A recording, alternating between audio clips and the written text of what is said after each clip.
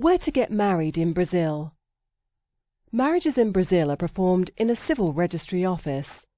You can also have a church wedding, but getting married in a civil registry office is the only way for your marriage to be legal under Brazilian law. For more expert advice, visit immigroupcom For everything you need to know about this process, click the hyperlink or call the number below this video.